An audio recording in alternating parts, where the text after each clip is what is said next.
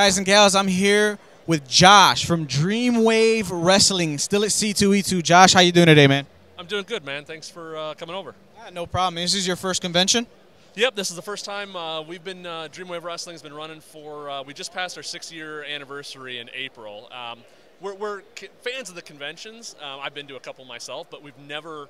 Uh, this was the first time we actually decided to to host a booth here. So needless to say, we're uh, we're pretty pleased with how it's gone so far. I, I was just going to ask you how you like how the turnout's coming. Oh, it's been great. Uh, I mean, we had uh, Scott Hall um, at our show in March. Um, it was one of the biggest houses we've had in LaSalle. It was a great show. Um, brought him back here, obviously. Uh, Scott Hall and X Pac still draw in Chicago, so yeah, we got uh, one hell of a line we got Del Rio and uh, Ricardo tomorrow, and uh, Matt Hardy uh, in on Sunday. So uh, we're, you know, for this being the first day, we're super stoked for the rest of it. Now, for throwing something like this and this being your first time being at a convention, was it a lot? Did you find it difficult at all to have all this set up? Uh, no, you know what? It was a little bit different. Um, there was a lot of like, uh, you know, different forms and different things we had to fill out for like the booth space. Um, as far as booking the talent wise, no. I mean, it's uh, we book people. We run on a monthly basis. We've been booking people for our shows for six years. So, you know, getting Scott and X Pac here and the other guests that we have, that wasn't a problem. It's just, you know, sometimes working with some of the building stuff was a little bit different. Um, but, you know, like I said, it's the first time, so uh, something we're learning from. So tell me about Dreamwave Wrestling because I've never heard of it until about a couple weeks ago when I was contacting the company via Twitter to try to set up some interviews. So now you guys got me interested. I'm here. Talent aside, like I said, we're wrestling fans, and I see what you guys got going on here. So tell me about Dreamwave Wrestling. So Dreamwave Wrestling, we run in LaSalle, Illinois, which is about it's about 90 miles uh, southwest of O'Hare, um, 55 and Route 80 west. Uh, we've been running for six years. Um, and it's a, it's a PG, family friendly show, but we kind of have a little bit of everything. So we have everything from, you know, we have our big stars, you know, big guests coming in every month. Um, we have guys from all over the country, all over the world come in and wrestle for us. Um, guys like Tommaso Ciampa, AR Fox, uh, ROH, Roderick Strong, you know, guys like that kind of come over and we, we have a little bit of everything. Colt Cabana, you know, so there's comedy, there's athletic contests, there's you know storylines, there's old school guests for casuals. You know, we have a little bit of, of everything for everybody. So everything from you know a five-year-old kid that watches Raw every week on Monday to you know your 60-year-old grandfather who's been watching wrestling for 40 years can enjoy the show. So um, it's great. We, we do really well, and um, you know we're happy to keep going. Now, with the internet being as easy to access as you know, everybody can do whatever they want. Hell, we're this is living proof. But uh, what makes your company like? Well, I guess what I'm trying to say is all of the smaller uh, brands that are out there. What differentiates you from like any other brand?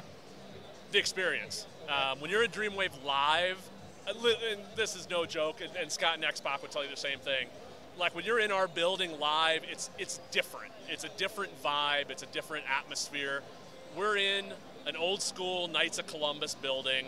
Um, it's we set it up. Um, it looks very similar to like if you used to see like old school like NWA TV taping kind of setting where it's a little bit dark. We have banners up on the wall of like all of our guys kind of hanging around. You know, we have video, we have sound, we have lighting, we have everything, and it's just an intimate atmosphere. And so we're doing you know, anywhere from, you know, 400 to 600 people a show every single month in a, you know, tight, intimate venue. And it's just, you know, people come in, they boo the bad guys, cheer the good guys, and uh, it's just a great atmosphere. So once you're there and you see it live, it's different than anything you'll see anywhere else. Tell me about some of your top stars. Uh, well, we have a few of them here. Uh, Christian Rose, uh, Nick Brubaker, uh, Matt Cage. Um, we, we have a lot of guys. We have, a, like I said, kind of a mix of Midwest talent, um, uh, Marshe Rockett, um, and guys from across the country. So if you're familiar with the indie style, you know, your Joey Ryan and Candice from PWG. Uh, uh, you know, it's the list goes on. Like I said, Tommaso Ciampa, a lot of ROH, Roderick Strong. We kind of mix them with the Midwest scene. So a lot of times, people that, um, like I said, are internet fans, maybe they see clips of Roderick Strong on you know, the internet or watch ROH, but they've never actually seen him live because the only appearances he's ever done are for ROH. Right. So we put them in a different environment, working, you know, Midwest local guys. It's a different different type of vibe, different type of, of match. So, um, and we got a lot of talented guys. Um, you know, guys who've uh, gotten WWE tryouts, guys who are currently, you know, on the on the lookout from there. Um, C.J. Parker, a guy who was in NXT. Uh, he's actually coming back. He just left WWE. He's going to be at our show next week. Um, he was Juice Robinson with us for you know the first year and a half, right before he got signed.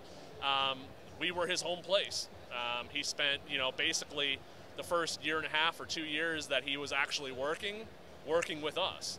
Um, so you know a guy like that made it. Um, one of our referees that worked for us for years, Jason Harding, you know, he's now on the WWE main roster. He's on Raw every week, pay-per-views, WrestleMania.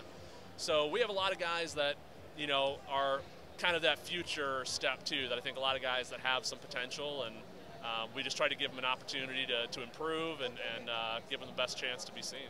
So if anybody wants to view your product but they can't get out there, what's the best way to look for you? Uh, if you go to smartmarkvideo.com, um, they have all of our shows on there. You can buy DVD. They do video on demand. Um, it's all HD. It's professionally filmed through them. So um, if you check them out, I think they're uh, at SmartMark Video on Twitter, uh, smartmarkvideo.com, and uh, look up Dreamwave, and all of our shows are there. Awesome. Well, thanks for your time, man. Yeah, thank you very much. Have Appreciate a great it. rest of the weekend because uh, so far so good with this line here. Yeah, thank you for having me, and uh, you guys have a good weekend too. Not a problem. Thanks, man. Later.